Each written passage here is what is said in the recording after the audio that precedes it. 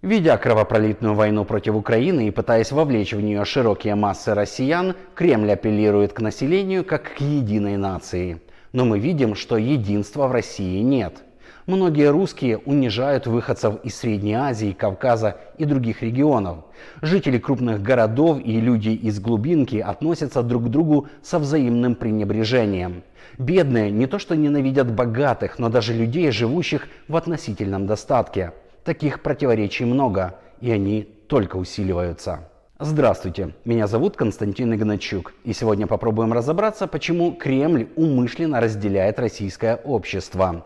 А помогут мне в этом политтехнолог Борис Тизенгаузен и юрист, политический аналитик Андрей Вигеринский. А для начала выясним, по каким признакам расколоты россияне.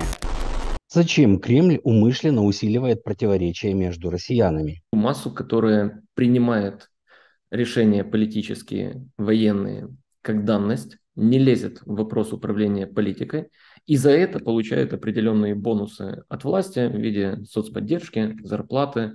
А, у кого-то газ дома, у кого-то электрика дома, у кого-то периодически газификация вообще происходит. Да?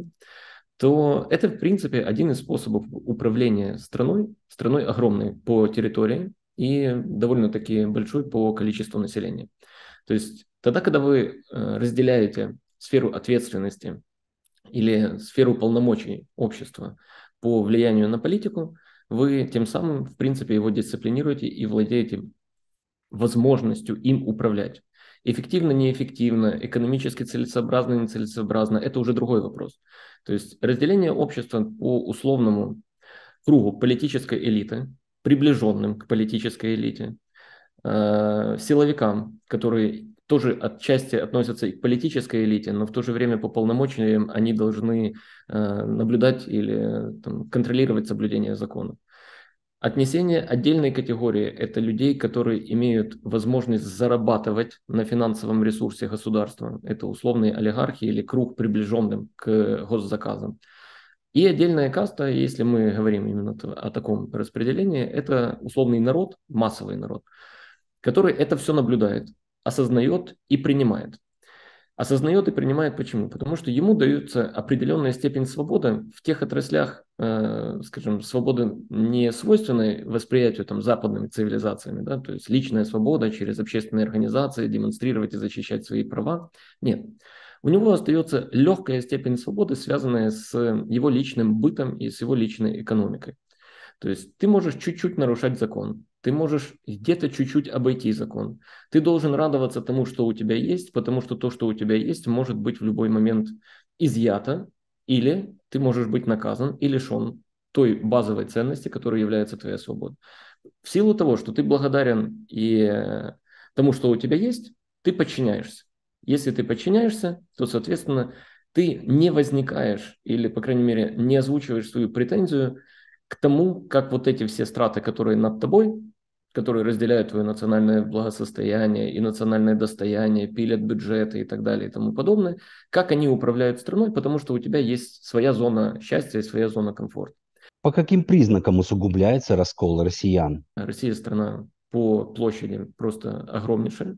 Она плюс является еще и многонациональной, и плюс многоконфессионной, да, если мы говорим о религиозных предпочтениях граждан. Регионы Никто не стремился вот от слова совсем. В, России, в российской политике и в экономической модели нигде не было тезиса или, по крайней мере, стремления или обещания, в которые люди поверили, чтобы во всех регионах все жили одинаково. Это, это невозможно с точки зрения э, функционирования огромной страны. Да? То есть всегда есть регионы, которые более экономически развиты, более богаты там, минеральными, естественными, э, скажем, природными ресурсами, да, есть бизнес и фин-центры, есть технологические центры, а есть периферия. Эта периферия, она тоже выполняет определенную роль. То есть, э, когда мы видим с вами там процесс мобилизации в России, да, ну, мобилизация имеет региональный признак. Почему? Ну, просто потому, что в тех регионах где-то выше уровень преступности, в тех регионах, с которых происходит мобилизация, крайне низкий уровень дохода среднего по населению. Сферы занятости населения – это либо безработные, либо э, самый простой труд, который является, собственно говоря, наиболее низкооплачиваемым. Эти, эти регионы являются источниками трудовой миграции для мегаполисов, таких как Петербург, та же самая Москва. Да? И такой м, уклад общества Российской Федерации – он, собственно говоря, и позволяет, э, скажем, формировать более или менее управляемое общество. Потому что в депрессивных регионах ты можешь задобрить население в случае каких-то конфликтов. Определенные финансовые, ну, ну не подушкой, а там, подачкой, да, социальные выплаты, лучше э, построение какого-то национального проекта, дорога, магистраль, не знаю, опять же, газификация. В мегаполисах у тебя другая проблема это уже идеологическое разделение. Идеологическое разделение, а вот оно как раз, наверное, длится или продолжается уже в течение, по крайней мере, последних 10 лет, так наверняка, э, и более жестко оно притупляется. То есть разделение на условных либералов, либералах во взглядах, которые разделяют там, демократические ценности и так далее и тому подобное. И не то чтобы консерваторов, потому что слово консервативный Путин ну, исковеркал и испоганил в понимании истории всерьез и надолго, хотя консервативная точка зрения, она не является плохой. И, э, но, назовем это так, консюмеристов, которые э, согласны с политикой э, военно-политического руководства. Постепенно, в течение нескольких лет, все, что называется либеральные взгляды, демократические ценности, западный мир, естественные свободные права, открытые рынки и так дальше, оно уподабливалось работе на врага. Соответственно, люди, которые э, определяют себя как, как, как такие, что соблюдают эти ценности, или для которых они являются, ну, скажем, жизнеопределяющими, они становятся чуждыми этому обществу. Почему многие русские представители титульной национальности России позволяют себе унижать представителей других народов и национальностей? Советский Союз – это искусственно создано, создано и искусственно сдерживаемое образование было. А вот как его тогда собрали, так оно, значит, и ехало. Дальше он развалился, а, но все равно э, в, в, в России почему-то бытовало мнение, что существует некая одна, значит, титульная нация, которой должны все поклоняться, обслуживать ее там и так далее.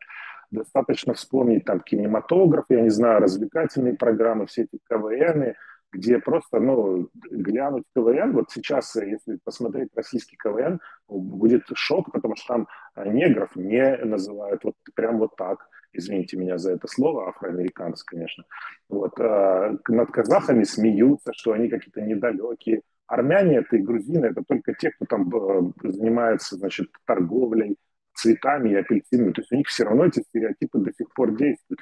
Достаточно вспомнить эти, этот кинематограф, там, не знаю, «Брат», фильмы, где, помним, как жители Северного Кавказа называли. То есть эти подготовительные этапы, они всегда были для того, чтобы показать, что, например, э, другие э, национальности, другие народы, это как бы потенциальные враги могут быть. И я, например, с ужасом вспоминаю то время, когда Россия, ну мы еще тогда как бы вроде как в дружественных отношениях находились, когда Россия, значит, готовила там чеченские кампании, и, не, и, и информационное поле было так подготовлено, что мы, э, жители Ичкерии, не иначе как там террористы или как-то еще, то есть чеченец это был символ терроризма. Так было и в кинематографе, и где угодно. Самые, значит, плохие люди, значит, давайте их э, покажем чеченцами. То есть вот так они через кинематограф, через культуру, через управляемых, значит, своих вот этих лидеров мнений накачивали ненависть к другим народам и национальностям, потому что это потенциальные враги. Потому что это грузины, которых нужно завоевать, эти армяне, которых не существует, по мнению российских депутатов, казахи с искусственным государством и так далее. Это все прорывается даже сейчас из всяких Медведевых, Федоровых, из, кого только. То есть они периодически говорят, что это все искусственные нации, это все наши земли, Великая Россия. Хотя они не могут, если вспомнить, кто по национальности были э, руководители в том числе и там за, за, за, за время Советского Союза. Но я уже молчу про туда дальше царскую Россию. То есть там русских раз-два и обчелся было.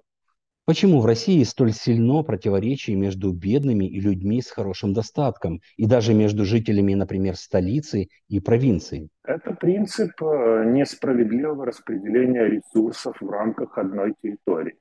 Понятно, что есть бедные депрессивные регионы, кстати, из которых призыв и мобилизация идет намного интенсивнее, потому что там э, даже те деньги, которые там через раз платят, это огромные деньги для, э, для тех регионов. И понятно, потому что из сытой Москвы, из сытого Санкт-Петербурга забирать э, большое количество людей, но это как бы опасно, потому что они все со смартфонами, они все там пишут в соцсети, не дай бог еще не того там схватишь лидера мнений, и так пойдет потом скандал. А из Бурятии, там, не знаю, откуда-то из Алтайского да, пожалуйста, деревнями забирают, там вообще никто слова не скажет. Куда он? В местную газету письмо напишет? Нет, конечно. И там смерти не так видны. Вот что, вот что интересно. То есть они видны там в деревне намного, ну, как бы сильнее, когда там группа приезжает, как в деревнях в России до сих пор, там едет такой-то оркестр на телеге, там все поют, э, плачут, потом опять поют, вот. Но это никуда не уходит.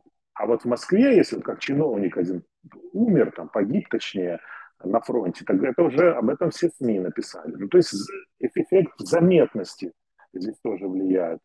А то, что зажирные в Москве, так так всегда было. То есть весь ресурс крутится там в Москве, э, замкадом меньше этого ресурса, там 100 километров от Москвы еще меньше, а 200 так уже и все. Поэтому, да, так, так было всегда и так будет. Еще, более, еще большее разделение и неравенство ждет россиян, потому что э, те, кто у черты бедности находятся, они окажутся за этой чертой благодаря их руководителям. Столкнувшись с проблемами в войне против Украины, Кремль катастрофически нуждается в единодушной поддержке продолжения кровопролития и пытается консолидировать россиян. Хотя многие годы умышленно усугублял противоречия между людьми. Но когда разделение общества на сегменты стало трендом российской власти и какими могут быть последствия? Какого момента Путин понял, что ему выгодно разделить общество? Возможно, это были протесты на Болотной? Нужно всю хронологию пребывания Путина у власти как бы проанализировать. Но первое – это внешние отношения. Для него определяющей все равно всегда была внешняя политика. Ну, как бы огромная страна, имперский, имперская память, оно, оно все равно остается. Как бы, и ты хочешь занять определенное место и сыграть определенную роль в глобальном мире. И я думаю, что мюнхенская, да, мюнхенская речь Путина – это был, скажем, ответ внешнему миру. И Болотная, мне кажется, в конечном результате, а, она стала вот тем зеркалом внутреннего, э, внутреннего отражения возможностей э, разрушения российской целостности Российской Федерации. Плюс давайте не забывать о том, что э, российский лидер наблюдал ну, события, которые имели место в Украине, ну, в четвертом году, ну, революционные, да, он по-своему их воспринимал. Он все-таки, нужно понимать, э, воспитан и, скажем, трудовой путь прошел как спецслужбист. Э, в естественные права, свободы и желания людей он как бы не склонен верить априори. То есть любые революции, в его понимании, это, дело, это, это продукт э, работы, ну, скажем, иностранных спецслужб. Или спецслужб просто, да, внутренних это не, не зов сердца или не зов э, внутреннего желания человека к изменениям. То есть э, право на протест человека, которое записано как базовое, да, в случае, если его права, его права пренебрегаются, э, они пренебрегаются в свою очередь восприятием человека, представителя КДБ. Поэтому, понимая то, что что-то похожее, ну, или на то, что было в Грузии, или на то, что было в Украине, может произойти в России – понимая, то, как это организовывается или через какие институции это можно реализовать, он принял для себя решение, и мне кажется, что вы абсолютно правы, когда говорите о Болотной, в том, что шанса ну, для реализации таких подобных э, сценариев у себя он не допустит. А единственный способ ну, недопущения такого сценария – это ужесточение. Ужесточение начиналось мяг, мягким путем. А сейчас оно уже перешло просто в экстенсивную фазу, в зачистке всего, вот, вот в принципе зачистки всего, что, э, скажем, все, что может породить какой-то протест, конфликт. Сейчас Кремль пытается мотивировать россиян идти на войну против Украины. Как разделение российского общества сказалось на мобилизации? Мобилизация, она не соответствует вашему, вашему базовому желанию. Любого человека. Ну, в Китае проведи или в Северной Корее мобилизацию. Внутри каждой семьи будет точно, наверное, на кухне диалоги о том, что, господи, да зачем оно нам надо?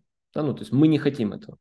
Но она выполнена, да, то есть мобилизация, за счет огромного человеческого ресурса, путем принуждения. И мы не можем с вами, да, были отдельные вспышки, были отдельные протесты, были жены мобилизированных, они остаются, да, которые э, демонстрируют и отражают протест общества. Но в пределах страны, то есть все познается в пропорции, да, 300 тысяч мобилизованных в Швейцарии или, допустим, в какой-то, в Бельгии, это там была бы, ну, и, и, и тот уровень протеста, который есть в Российской Федерации, это была бы, ну, катастрофа огромного характера социального движения в силу того, что территория страны небольшая, население тоже поменьше, а тут 140 миллионов, 140 миллионов, из которых надо выбрать там 300 тысяч, ну окей, 500 тысяч. И за счет этого распределить вот этих там 500 тысяч на огромную территорию и выбирать э, людей, скажем, ну, которые проходили военную службу, да, можно, не рискуя, не рискуя, создать очаги массового возгорания социальных протестов, которые воспламенят всю страну. То есть э, масштаб мобилизации не тот. Если бы речь шла, допустим, о двух-трех миллионах, и все регионы были равномерно бы включены в эту мобилизацию, и не было бы привиле- привилегированных сословий, которые, ну, как сын Пескова, мы этот вопрос там, да, озвучим, или обсудим, обсудим чуть попозже, или поступим по закону. Если бы это коснулось всех, то тогда э, протест был бы немножко другой. Сейчас очень важно, как э, вот это общество, будучи мобилизованным, как оно внутри, уже находясь в системе вооруженных сил Российской Федерации, как оно будет консолидацию там проявлять. Вот это очень важный момент. Потому что вооруженный, немотивированный, обозленный субъект, э, который принужда, которого принуждают идти на смерть, это гораздо более большой риск для системы, нежели его жена, которая пришла под военкомат и там покричала, что она не согласна с тем, что мужа ее забрали. То есть он несет больше риска. И важна консолидация именно в воинских частях. Система в этом вопросе, при том объеме мобилизации, который был проведен, первая волна, будем надеяться, следующих не будет, э, ну, собственно, они сами оценивают как бы на уровне политического руководства России возможность не столько обеспечить вооруженные силы, но проводить мобилизацию такими порциями, чтобы это не создавало социальную напряженность. Да, то есть вымывать человеческий капитал, э, они тоже пытаются по чуть-чуть и постепенно, где-то снижая накал информационный, где-то снижая накал э, социальный, где-то снижая экономический, где-то премии, где-то выплаты, потому что ну, и в этом обществе откупиться можно. Да, ну, то есть заплатив компенсацию за тело погибшего или бы убитого во время войны э, солдата. И общество так, такую плату принимает. Это что же особенность, да? Как бы э, специфика эмпатии э, гражданина России. Какие последствия будет иметь многолетнее усугубление противоречий между россиянами? Это делает невозможным не только это, но и ряд других факторов делает невозможным возникновение протестов.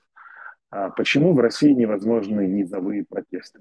Во-первых, довольно сильный репрессивный механизм существует. Во-вторых, э, россияне за всю свою историю после 1991 года грубо говоря, не видели ни, одно, ни одного плод, плода от, э, от протестов. Ну, то есть выходили, что, что они там, ничего не добивались особо. То есть они не верят в то, что... Они, они в принципе не знают, какой он должен быть. Этот, они думают, что протесты, я вышел с белым листочком, и все, я выполнил гражданский долг. Нет, протест это с оружием, с коктейлями Молотова там, и так далее. Вот. А они загнаны, вот россияне загнаны сейчас в Э, в такую ловушку, что им проще убежать из страны. Потому что если ты не убежишь, а выйдешь на улицу, то за тобой никто не пойдет, это раз. Ты сядешь на 10 лет, принесешь неприятности своей семье, там всем остальным. То есть их настолько запугали, что они не верят в то, что этот протест принесет какой-то результат. Даже те, кто там, может, хочет протестовать. Поэтому они принимают решение убежать, и все. И, кстати, вот это подсвечивание побегов – известных людей, знаменитых людей, подсвечивание количества убежавших. Это тоже играет на на руку путинскому режиму. То есть, пока, смотрите, тут кто, все, кто хотел, убежали. Тысячи, сотни тысяч, миллионов. Чего ты там один сможешь сделать? Ничего. Плюс вот эти показательные карательные акции. Поймали там какого-то парня, значит, э, которого, помните, эм, э, он был изнасилован гантелей в участке. То есть это специально было сделано и специально было максимально широко озвучено. Кстати, озвучивают чаще всего через условных таких вот либералов, псевдолибералов типа Собчак, которая тоже там пытки в СИЗО освещала периодически, чтобы показать ужас, что с тобой будет, если ты выйдешь на протест. То есть вот поэтому низовой протест абсолютно невозможен в России. Путь, который э, изберет Россия вот, э, в 23-24 году, либо осознание того, что все то, что они развязали, ну, война, специальная военная операция, как они это не назовут, да, это путь в никуда, путь, который ухудшает только положение их страны и ослабевает их страну. Они это понимают. То есть мы даже не говорим с точки зрения интересов Украины, да, вот нужно сесть там, да, или попытаться сесть на сторону врага и посмотреть, ну, как бы аналитики иностранные так и делают, да, когда ты садишься и начинаешь смотреть, что у тебя происходит с экономикой, какое технологическое отставание, как у тебя растут или снижаются доходы граждан. Но последняя аналитика, даже вот, э, российская пресса, о том, что доходы граждан в течение последних 10 лет только снижаются. Средний доход. То есть номинально он растет, реальный доход он снижается. Наверное, это не самые хорошие э, показатели для поддержки власти. Но у тебя есть момент, э, точка невозврата да, или точка бифуркации, в которой, ты, в которой ты подходишь, и ты можешь развернуть ситуацию. То есть отказаться от продолжения войны, сесть за стол переговоров, понимая, что будут последствия, но сохранить условную динамику низкого, но роста экономики страны. Либо ты можешь пойти по другому пути и ужесточить все то, что касается дисциплины внутри страны, закрытые границы, контроль социальных сетей, привлечение, очень жесткое привлечение к уголовной административной ответственности за высказывание мнения, которое идет в разрез с, э, скажем, базовой идеологией, ну, которую ты, опять же, таки формируешь. И тогда Э, не сказать, что это будет там цифровой, ну, концлагерь, да, то есть потому, потому что этот цифровой концлагерь, это часто к Китаю ну, относится, ну, такого, такого характера высказывания со социальными рейтингами, э, но можно пойти таким путем. То есть тогда, когда Россия, ну, переход там, улицы на неправильный свет – будет понижать социальный рейтинг гражданина России, лишать его возможности быть трудоустроенным на определенную работу, выезда, выезда в соседний регион, посещения определенного магазина, предоставления определенных административных услуг. И тогда у тебя будет э, закручивание гаек, э, обеспечивать дисциплину какой-то продолжительный период времени, пока эту резьбу не собьет полностью. И тогда очередной виток революционный, ну, может, гражданской войны с силовым свержением власти. Ну, ну так циклы истории движутся. Итак, делаем выводы. Наличие противоречий между людьми – это нормально. Свобода мнения, политических взглядов, вероисповедания и так далее – все это базовые права человека. В демократических обществах разнообразие мнений позволяет в конце концов прийти к консенсусу. Однако российская власть превратила это в оружие против собственного народа. Многие годы российская правящая элита при помощи пропаганды и массовой культуры усугубляла противоречия внутри общества. По мнению кремлевских идеологов, это делает возникновение протестов практически невозможным. Проблема в том, что когда целостности России будет угрожать реальная, а не мнимая опасность, сплотить общество будет крайне сложно, если вообще возможно. С вами был Константин Игначук. Всего доброго.